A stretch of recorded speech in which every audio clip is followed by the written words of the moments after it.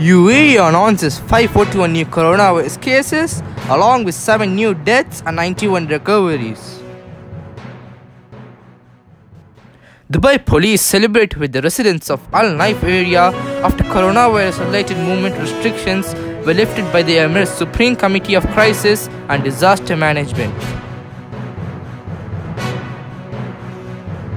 Dubai Roads and Transport Authority has announced to reopen three metro stations, including Al Ras, Palm Deira, and Banias from April 29th.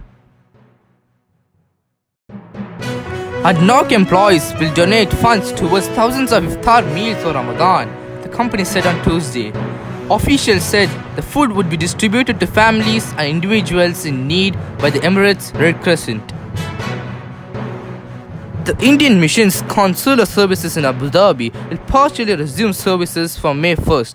The Indian embassy in Abu Dhabi announced on its Twitter handle on Tuesday. Dubai has successfully completed 100% disinfections of all districts thanks to the civil defense, but densely populated areas with the most traffic will be sterilized again, an official said on Tuesday.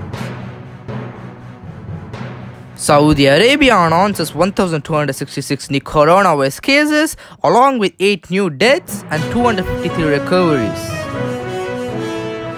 The Omani Health Ministry Tuesday confirmed 82 new cases of coronavirus, bringing to 2,131 the country's overall infections, including 10 deaths and a total of 364 have recovered. Kuwait announces 152 new coronavirus cases, along with one fatality and 164 recoveries.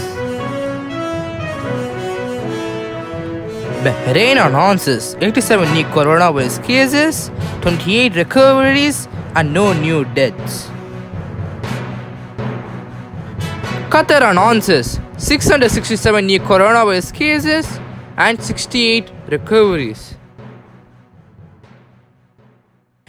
The total number of COVID 19 cases in India mounted to 29,974 and 7,026 people recovered and 937 deaths.